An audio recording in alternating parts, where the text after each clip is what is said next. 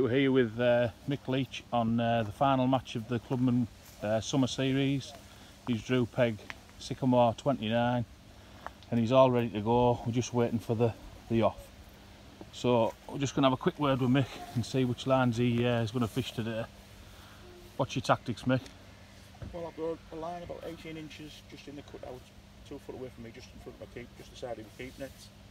Uh, I'm going to feed that with micros and fishing expander over the top. Got a line, shallow to the reeds, 2 plus 2. Um, going to fish that 4 mils and fish a 6 mil banded on the hook. I've got a deep rig to the left down the uh, sedges. I'm just going to fish that with hard 6 mils and see how it goes. So we're going to start with the uh, micro line expander and then keep feeding our shallow line for the sedges on the right. That's how we go. Well, all I can say, Mick, is uh, good luck and I'll be doing some action shots through the day. Enjoy, mate.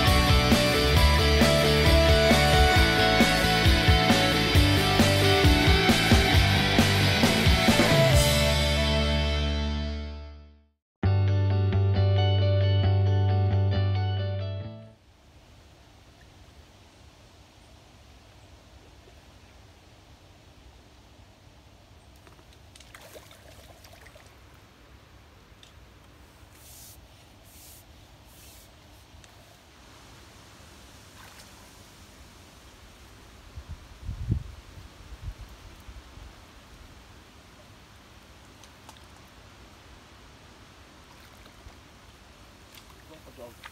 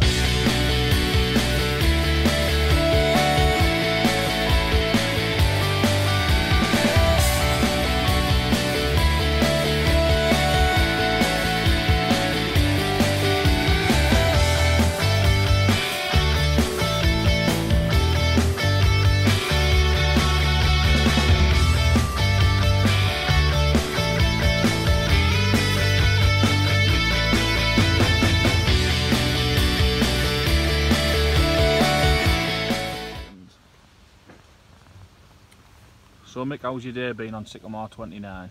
Well, I've had 123 fish on my clicker. Best line's been shallow on the edges there, right at the corner. Four inch lash, four inch up length. Uh, to a banded. First of all, it was a lassoed pellet, which was miles better. Ran out of lassos, had to go banded. Um, 123 fish. So, do you think you've scooped it up? Uh, yeah, yeah. Don't forget, scoop net.